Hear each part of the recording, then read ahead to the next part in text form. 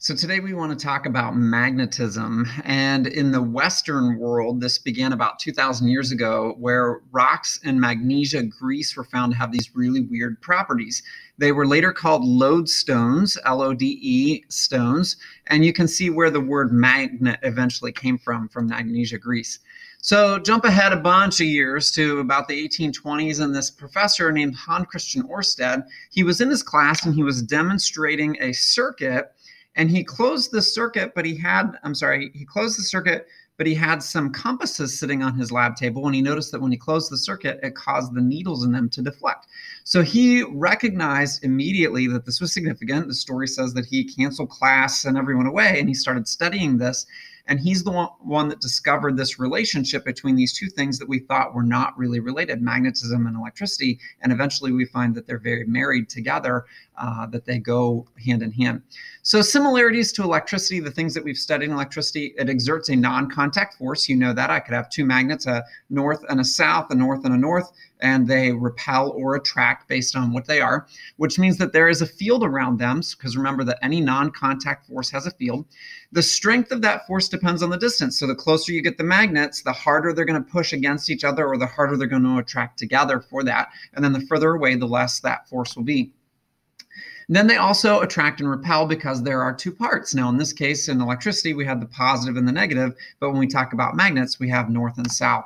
So opposites attract, like poles repel, is the way it goes. Differences from electricity is that you can get one electron by itself, but you can never get one pole by itself. And one of the ways that I kind of analogize this to is if you picture us having a magnet here that has a south and a north, you can think that there's a top and a bottom to this magnet.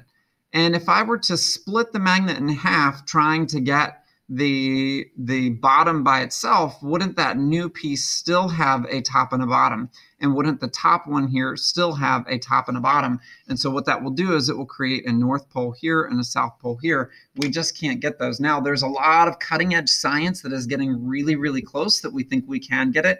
Uh, there are some experiments where uh, they believe they've gotten it for like really fractions of a second. Uh, and that's one of the really exciting new areas of physics that's being studied right now.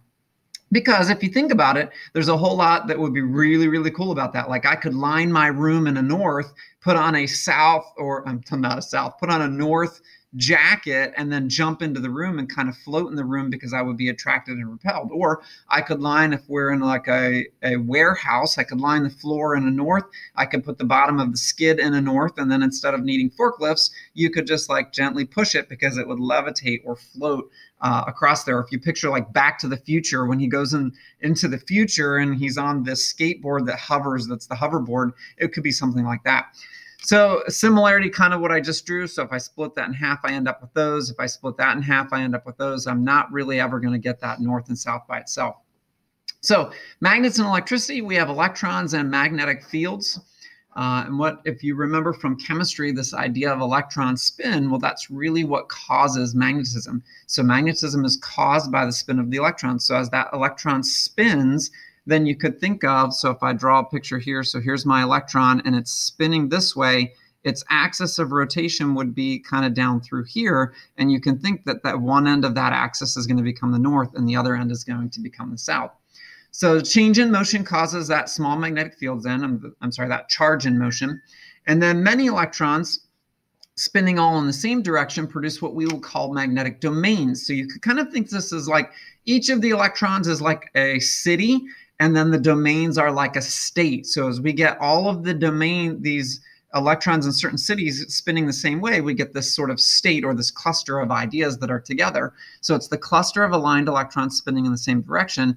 And then we have a really strong magnet if all of those domains are lined up in the same direction.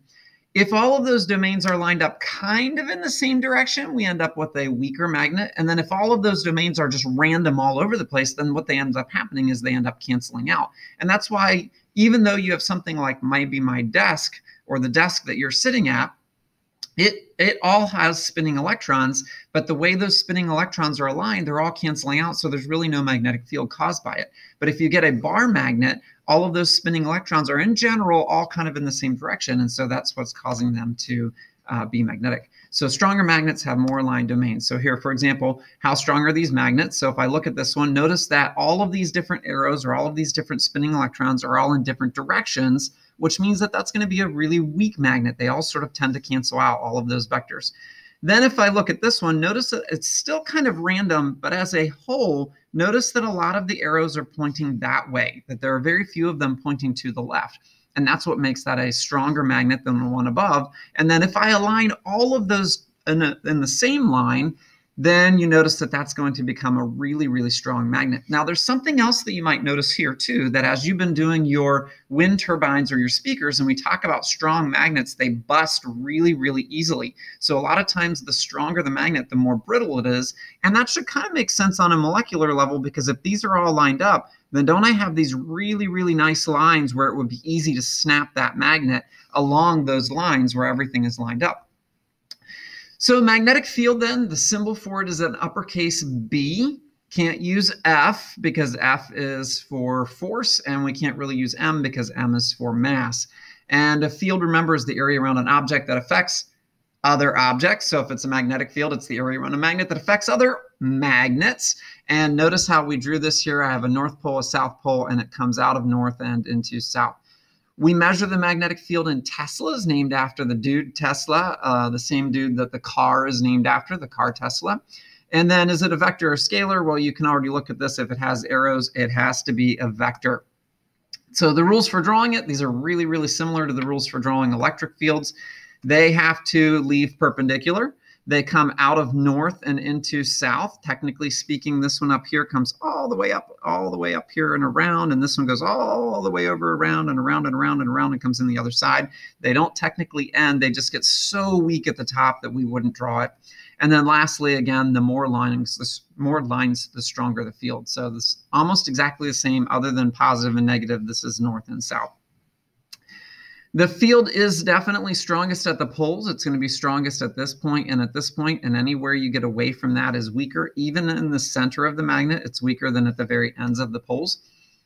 And then we would say that the magnetic force is what is caused by the magnetic field. So any forces that are, are upon another object here is caused by this field that is from that.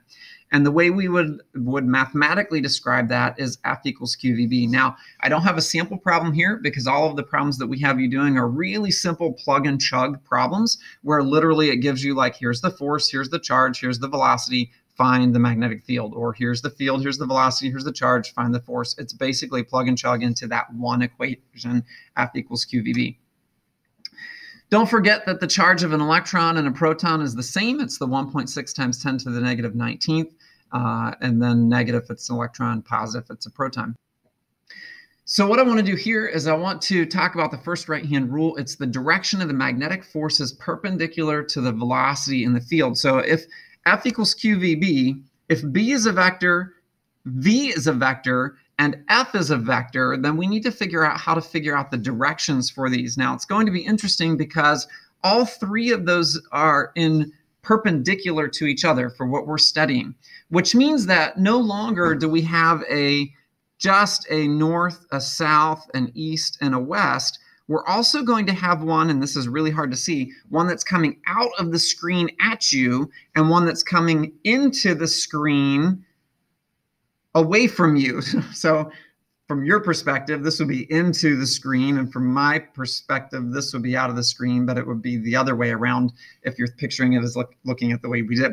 Uh, so way, the way we'll do that is we'll use the dots to represent out of the screen because you can think if a, a vector is represented by an arrow, then when it's coming out of the screen at you, aren't you looking at the tip of the arrow?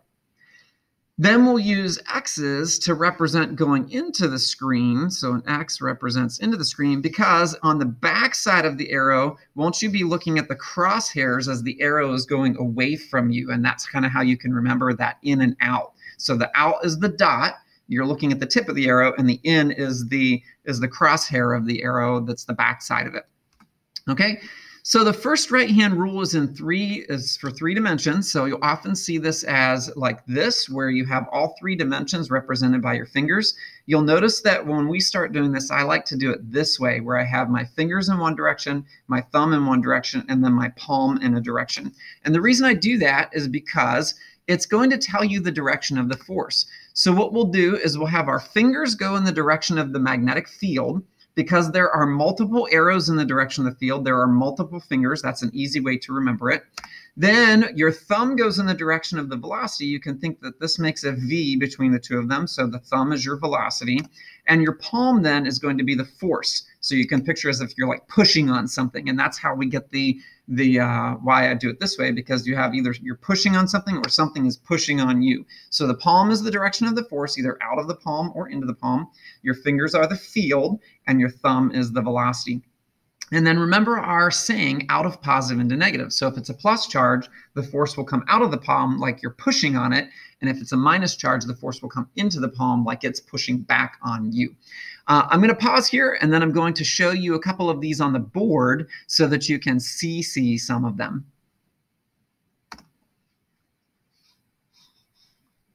Okay, so for the first right hand rule, the first thing to remember is it's the right hand rule. So, all of you right handed people, you have to literally put your pencil down and use your right hand. Lucky lefties, you can keep writing with your left hand and use the right hand rule, but that's the most common mistake as I see people keeping their pencil and using their left hand to do the right hand rule. And they're like, I'm not getting this right. Why not? Because you're using the wrong hand.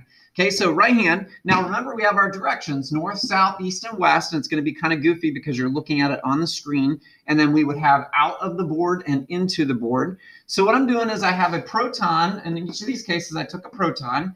And I have a proton that's being shot into this magnetic field here. So I have this magnetic field. All these X's mean there's a magnetic field. So remember, Fingers field, thumb velocity, palm force. Fingers field, thumb velocity, palm force. So I'm going to take my fingers, which are multiple fingers, in the direction of the multiple arrows and put them into the direction of the board. Then my thumb goes with the velocity, so I'm going to turn my thumb so it's pointing in the same direction as the, of the velocity. And remember that's out of positive into negative. So because this is a proton, out of my palm would be that way, as if I'm pushing on it that way. So my answer for which direction would the force be on this problem, I would say that the force is going to the west. Okay, next one. Again, I have my multiple arrows, which is the field, go with my multiple fingers. So I'm going to put my fingers this way. Then I have the velocity, which is going this way, and my thumb goes with the velocity. So I'm going to turn my hand so my thumb goes in the direction of the velocity, my fingers go in the direction of the field.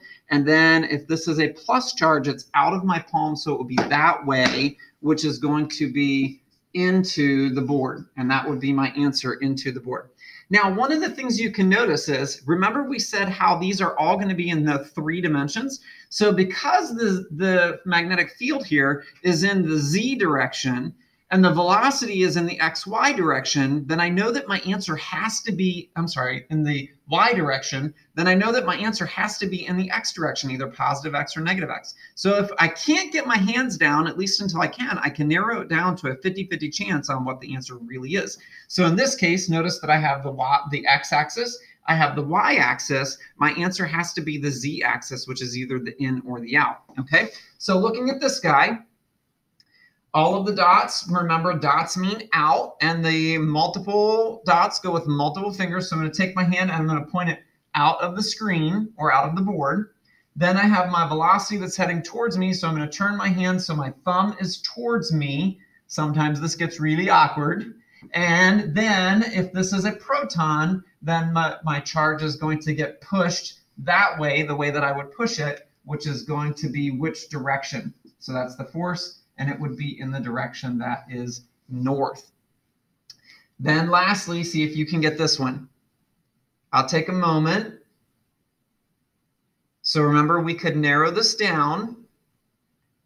If I already have the magnetic field in the y-axis and the velocity is in the x-axis, then I have a 50-50 chance my answer has to be either into the board or out of the board, right? Then I'm going to take my right hand rule and do this. So I have the multiple arrows, multiple fingers going this way. Then I have the velocity is heading to the east. So I'm going to flip my hand around. I'm going to come over here because it's a little bit easier. I'm going to flip my hand around this way. So now my fingers match the, the magnetic field. My thumb matches the velocity. And if this is a proton, it's going to push with my palm that way, which means that my answer is going to be out of the board. Okay, that is the right hand rule in a nutshell. And then we have some other videos where we walk more through it and do some more examples for that.